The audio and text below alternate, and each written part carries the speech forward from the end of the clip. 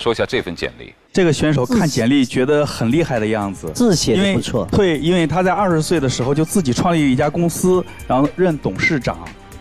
我觉得应该是一个蛮蛮有为的青年。他有一个外号叫“斗鱼一哥”。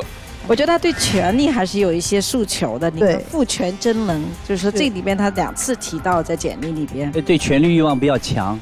再暴露一下他的信息，他家里有矿。哇！怪不得他在大学期间就做董事长了。哎，而且他这矿是金矿，呃，金矿也亏本。现在 矿不是个好事儿。对，矿不是个好事儿。你看什么矿了？金矿怎么不是好事儿？有金矿也不一定能赚钱。耶，你这个一提到矿，你们都感兴趣了啊！来，我们就有请出这位家里有矿的邹一飞。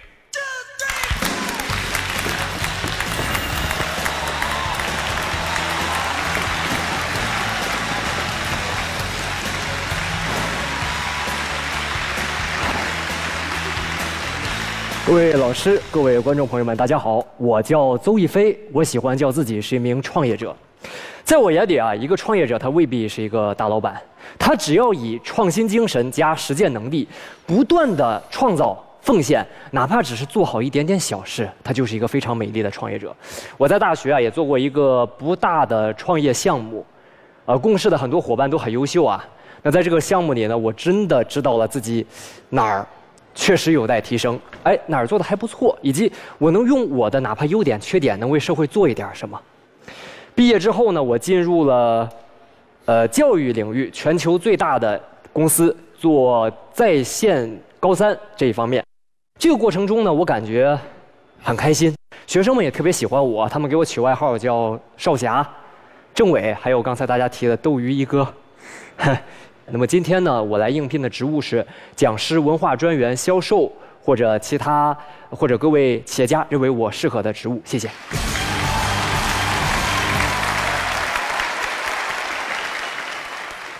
圆领毛衣翻出衬衣领子，我对这样的男生有特别的好感。不敢当。哎，家里有矿啊？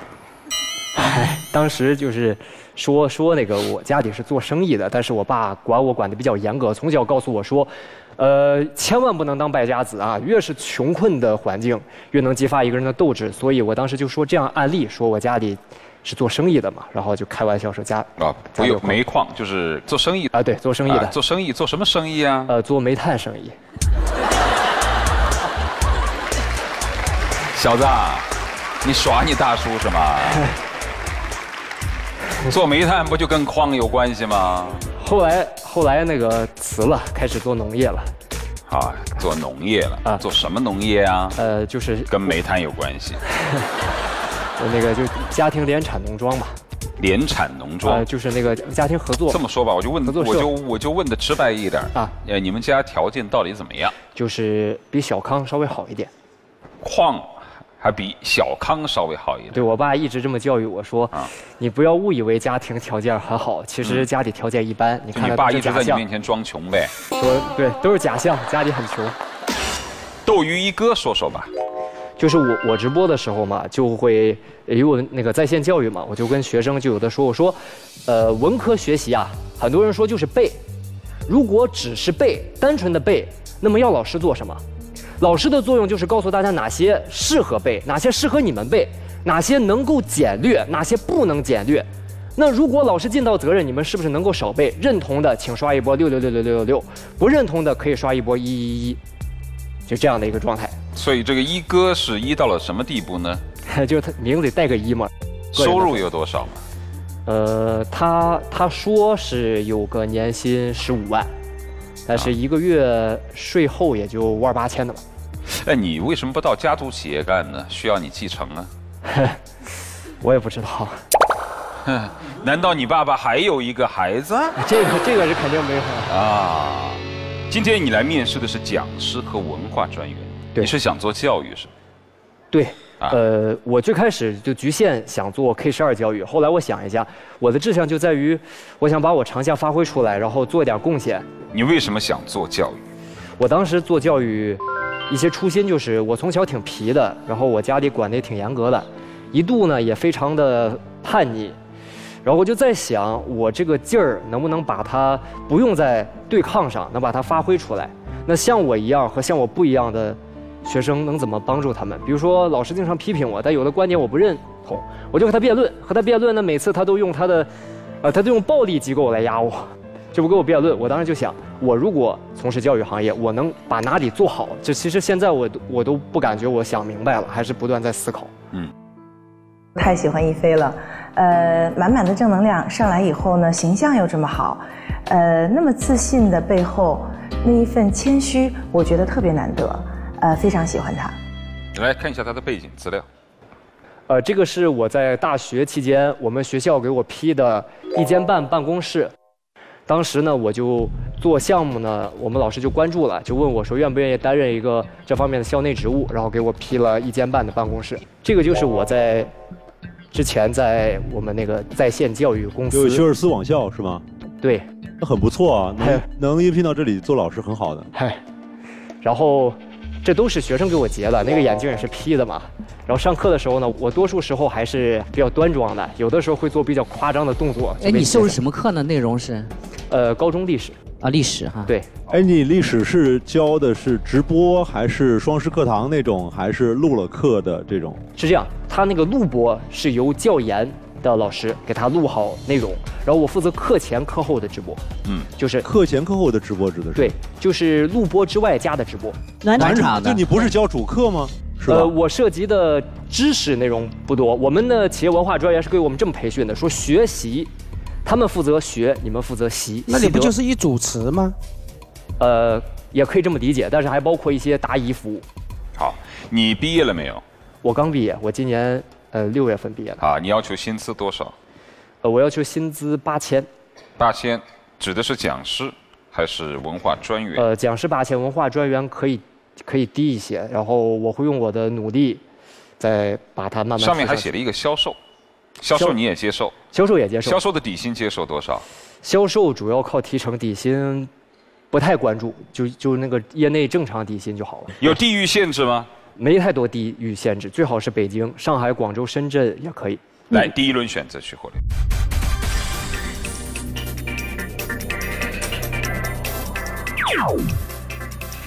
还有十四盏灯，天生我有才。天生我有才准备的资料展示是吧？对，来去拿来吧。谢谢。然后还有一份道具，我们看一下手里这豆子，它其实不太好看，而且它很硬。如果试着咬一下，硌牙。像这样一个豆子，我敢负责任的说，它里面富含着各种各样的营养物质，但是我们咬它会很硌牙，会难以吸收。我觉得这就像我们很多有待成长的学生。一个豆子，它吸收了多少阳光雨露，它才长成一颗饱满的豆子？但是它无法发挥出它的作用来，甚至它会被一些人嫌弃，觉得它丑，就它硬。那么我们怎么办呢？可以把它磨成豆浆，但豆浆呢，它吸收了水的灵性、水的圆滑之后呢，它毕竟是无法作为主食啊。所以西汉的淮南王刘安，创造性的卤水点豆腐，把它变成豆腐。一旦这颗豆子变成了豆腐，它。就开始逆袭了。这豆腐的做法，据不完全不完完全统计，有两千零一十一种，而豆子几种做法，大家屈指可数。这里要强调一点，就是我呢也不太赞成把教育一致化，把每个学生都变成一样的人。但是我认为，如果教育能把学生们从这样一颗豆子，给他更多的可能性。那么可以说是善莫大焉。我一直在考虑这个关键什么，后来我总结，这个叫做点化。这就像我当时我在讲我们创业公司企业文化里面有一点说，很多学生啊，他不是知识学的不够。我认识很多复读好几年的人，他成绩一年不比一年差，你能说他知识越来越少吗？可见肯定不能，就是他知识越来越散啊。像那个豆里面它有蛋白质，豆浆也有蛋白质，你如何把这些蛋白质有效的组成一个？可口软滑并且易吸收的豆腐，我觉得这个需要我进一步的思考，然后我也有一些稍微有一些思考成果了，这就是我豆子的作用。那非常好，鼓掌吧，鼓掌。对对，鼓掌鼓掌鼓掌。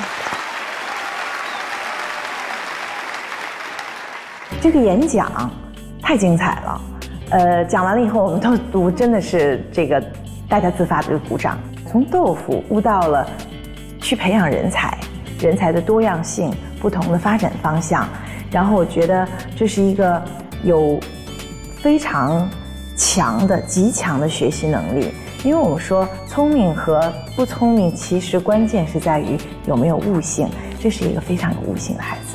你这个思路是哪儿来的呢？是你某一个瞬间想到的，还是怎么样？我觉得特别好的一个思路。这个是我思考了很久，然后我家门前有个人做豆腐，我去看他做豆腐的过程，我突然一下就想明白，想明白以后，我跟我的好伙伴们那个发，当时还不流行微信，发 QQ，然后他们就说哇这个太好了。然后过了一段时间，我们就闷头传，传了五天，传出了一个路演，这是其中的一个点，总共有四个四幕，我们四个人演，最终把它排出一个公式来，那个公式就是我们的教育理念的一个可视化。来，我们进入情场智商课堂。嗯，领导对你说，对于你提出的小王的那个问题，我已经狠狠地批评过他了。呃，感觉这里我立马就会感到。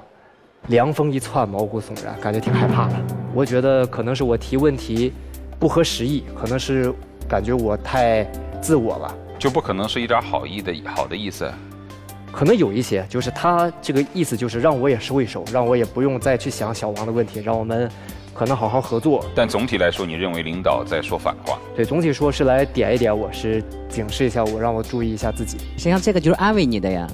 他和和你是一样的，是安慰你的，不是说是指责和批评你。我认为是这个潜在。但我觉得领导也对他有不满意，因为正常来讲，比方说，如果是我们在座的一个企业家，假如说是很强悍的一个人，领导不需要安抚说我已经狠狠地批评过他了，就不需要的。我觉得这背后有一种指责，就是你太玻璃心、情绪化。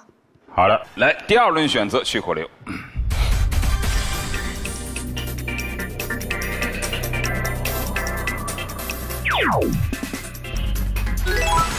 还有十三盏灯，这是目前几个月以来最好的成绩。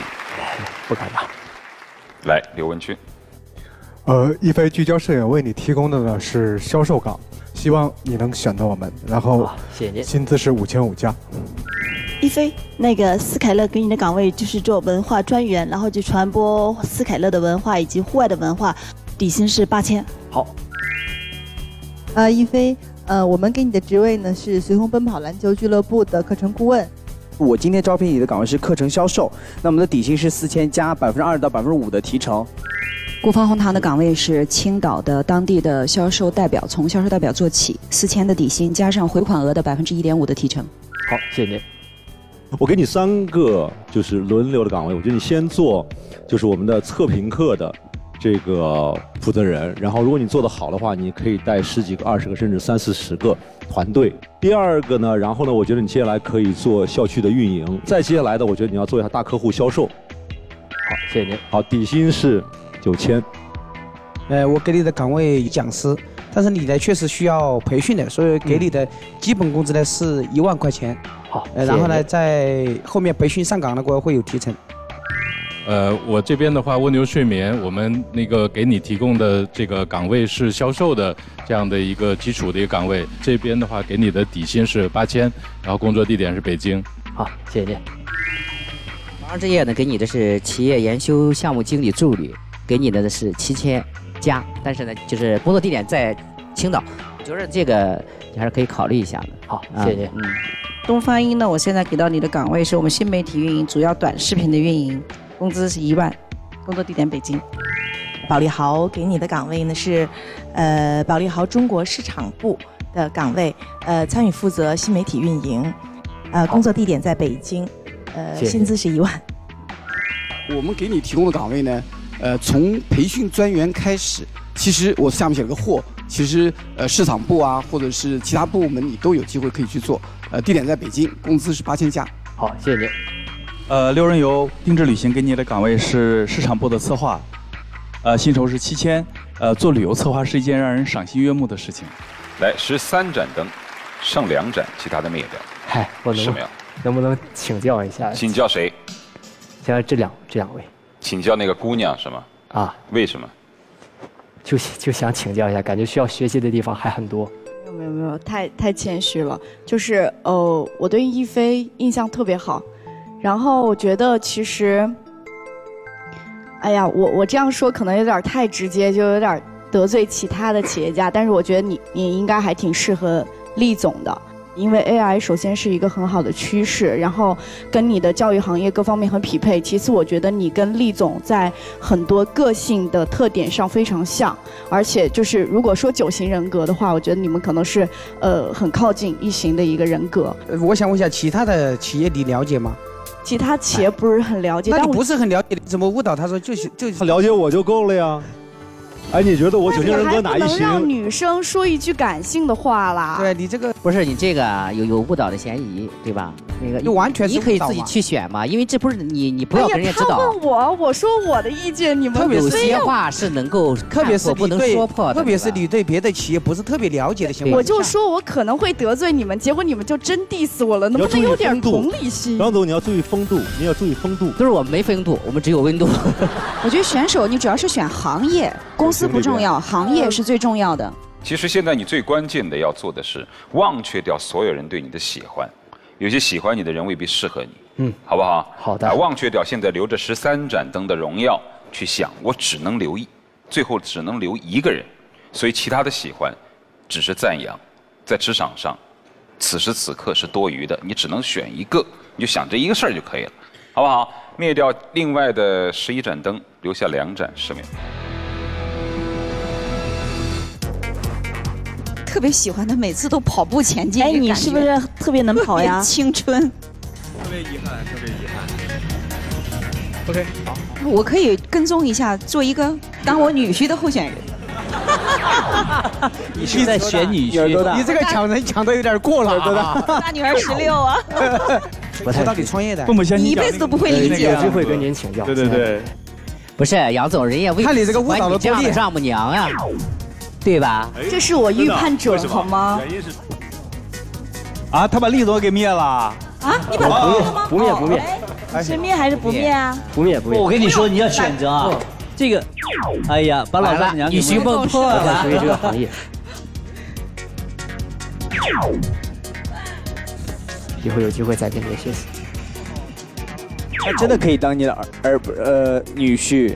特别青春活力。他到另外一个企业干得好的话，你女儿啪把他给粘过来，不都是你的了吗？来，有请厉浩洋、贾军谈钱不伤感。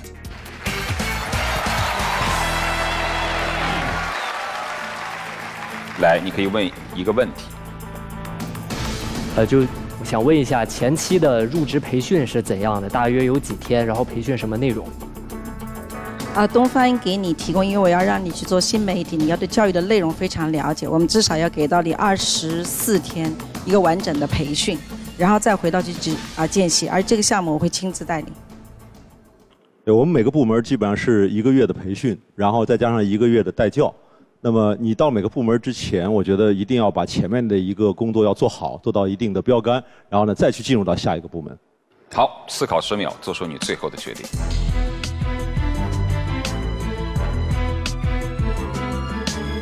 松鼠 AI，东方爱婴，谢谢再见。你的选择是我选择的是松鼠 AI。去吧。